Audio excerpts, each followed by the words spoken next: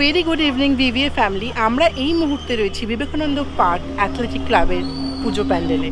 তো যেটা তোমাদেরকে মেইনলি বলার যে আমরা কিন্তু এইখানে যার হাতে পুজোটা দেখব মানে যার হাতে এই প্যান্ডেল প্রতিমা তৈরি হয়েছে, তার কাজ কিন্তু আমরা আগেও দেখে নিয়েছি। চালার ওই অসাধারণ কাজটা সুশান্তদার হাতে। তো সুশান্তদা এটাও সুশান্তদারই বানানো। তো আমরা এই মুহূর্তে প্যান্ডেলে ঢুকবো। এই প্যান্ডেলের থিম হচ্ছে ভিন্ন দৃষ্টিকোণ।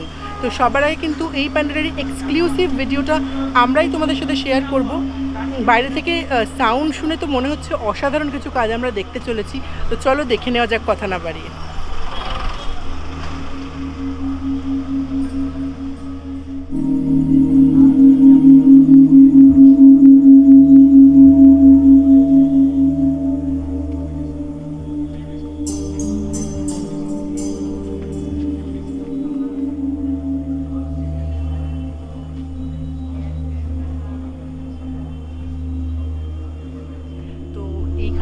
শিল্পী তার একটা অসাধারণ কাজ তোমরা দেখে নিয়েছো যেটা হচ্ছে ডালা প্রত্যয়। এরপর কিন্তু আমরা এই প্যান্ডেলটা দেখেছি দেখে মানে আমি সত্যি ভাষাহীন স্পেলবাউন্ড আমি জানি না কি বলব। এই প্যান্ডেলটার থিম হচ্ছে ভিন্ন দৃষ্টিকোণ। কলকা রয়েছে এবং জিগজ্যাগ করা প্রচুর এরকম স্ট্রাকচার রয়েছে যেগুলো আমি যদি তোমাদের মাঝখানে ইন্টারাপ্ট করে বলতে থাকি আমার মনে হয় না তোমাদের দেখতে ভালো লাগবে। আমি জাস্ট ভিডিওটা তোমাদের দেখাচ্ছি ক্রিয়েশনটা তোমাদের দেখাচ্ছি।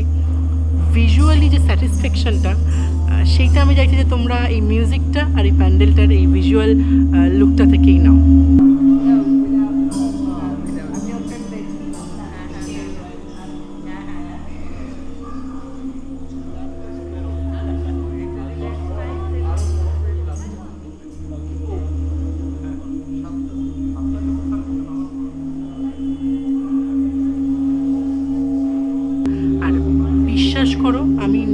তোমাদেরকে দেখে বলছি যে বিভিন্ন অ্যাঙ্গেল থেকে সত্যি বিভিন্ন রকমই দেখতে লাগছে। তোমরা ভিডিওটা যখন দেখবে, দেখলে কিন্তু মানে একজন শিল্পীর মাথাতেই এই ভাবনাটা আসতে পারে।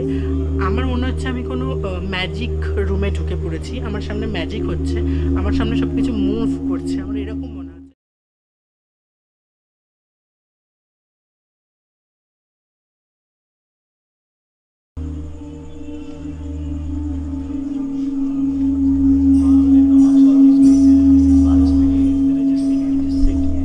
এখানে যেটা মানে আমি তোমাদেরকে একবার বলে দিচ্ছি যে ভিন্ন দৃষ্টিকোণ ভিন্ন দৃষ্টিকোণ বলতে প্রত্যেকটা মানে এই প্যান্ডেলের আশেপাশের যে জিনিসগুলো উনি লোহার ওপর জং ধরিয়ে করেছেন।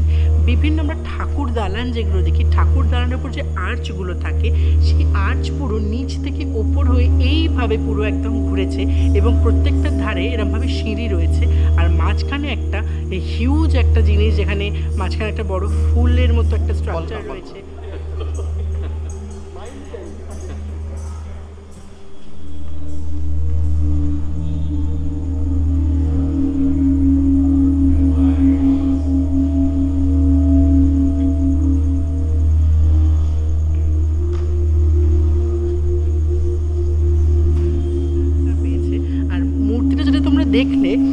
আমি তোমাদের আমি যেটা ভেবেছিলাম যে ব্রোঞ্জ বা এরম কিছুর হবে বাট সুশান্তদা বললেন যে না এটা মাটির মূর্তি বাট দেখে কেউ বলবে না যে এটা মাটির মূর্তি। ওটা করতে গিয়ে পড়ে গেছিলাম তাও থামিনি।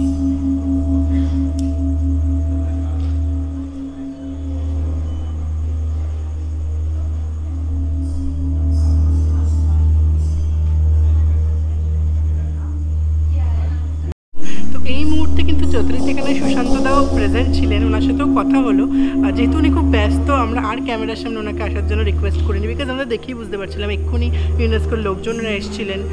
তোমরা হয়তো ফুটেজে কিছু দেখতে পাবো, ওনাদের নিয়ে উনি খুব ব্যস্ত ছিলেন, কিন্তু তারপরেও আমি সত্যি বলছি, এত হাম্বল একজন শিল্পী, এত এত ভালো একজন মানুষ যে তারপরেও কিন্তু আমাদের সাথে প্রায় দশ মিনিট ধরে উনি আমাদেরকে বোঝালেন যে উনি কী করেছেন।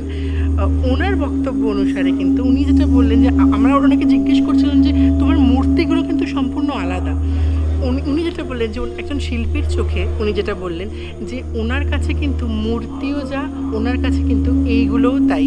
প্যান্ডেল ছাড়া মানে উনি যেটা স্ট্রাকচারগুলো বানিয়েছেন, এটা ছাড়া উনি অসম্পূর্ণ আর ওনাকে ছাড়া এটা অসম্পূর্ণ। তো অ্যাজ এক্সপেক্টেড অসাধারণ একটা কাজ আমরা দেখলাম। মানে আমি কি বলব আমার বলার কোনো ভাষা নেই, যেটা আমি ভেতরে শেয়ার করছিলাম যে আমার সত্যি বলার কোনো ভাষা নেই যে কি দেখলাম এটা?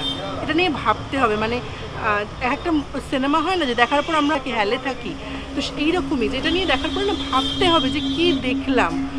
তো সবার আগে তোমাদের কাছে আমরা এই ভিডিওটা দিচ্ছি। সবার আগে এক্সক্লুসিভ এই ভিডিওটা আমরাই তোমাদের সামনে তুলে ধরছি, এই প্যান্ডেলটা আমরাই তোমাদেরকে দেখাচ্ছি।